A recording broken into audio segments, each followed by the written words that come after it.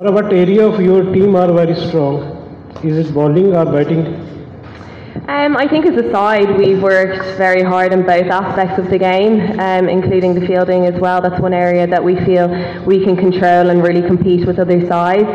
I think over the last eight or nine months, we've proven that at times we've been very successful with the bat, but we wanted to back that up with the ball. And likewise, in other performances, we've bowled very consistently, but we wanted to back it up with the bat. So I think this ODI series will be a brilliant opportunity for us to try and put complete performances together with both the bat and ball.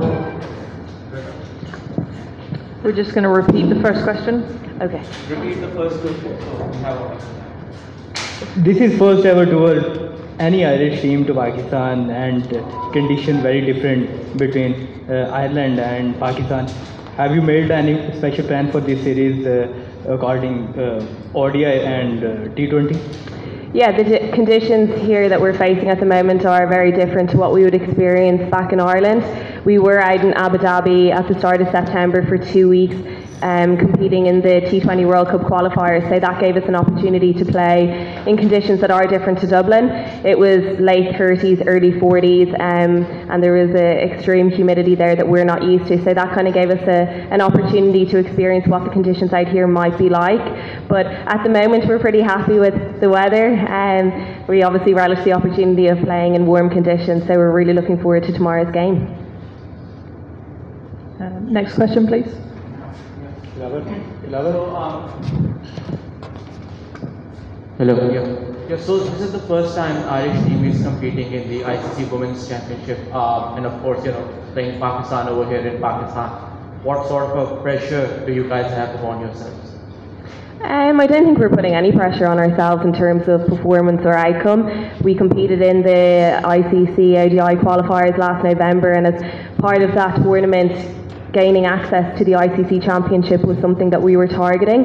For us, getting into this championship is a massive benefit. We're now guaranteed fixtures against some of the best sides in the world, and we haven't played Pakistan on a regular basis. So for us, this is a brilliant opportunity. We played one T20 against Pakistan in Dublin during the summer, and we narrowly missed out. So we're hoping to put that right at some stage during this tournament. But we're really looking forward to the ODI games. They're definitely going to challenge us, and we're looking forward to playing some really good cricket.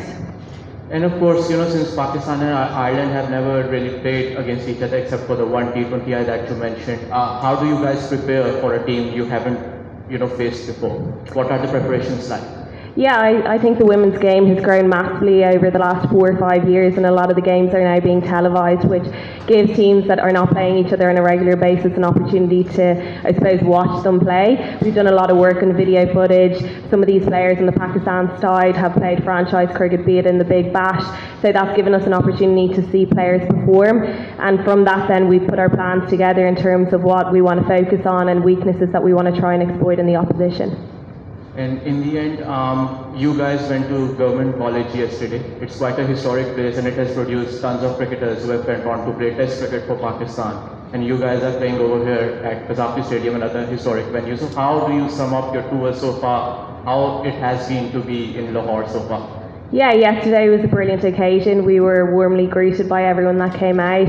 It was an amazing experience as a captain. I've never experienced anything like that before, so it was definitely an experience. But I think so far we're just enjoying having the opportunity to train and play in such a brilliant stadium. Everyone's been incredibly welcoming, um, and yeah, we're really looking forward to tomorrow's game.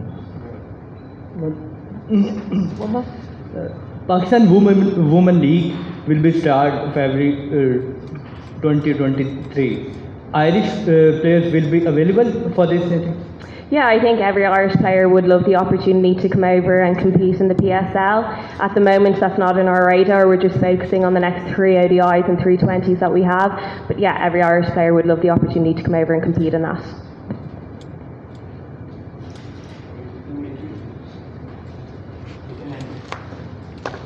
Thank you.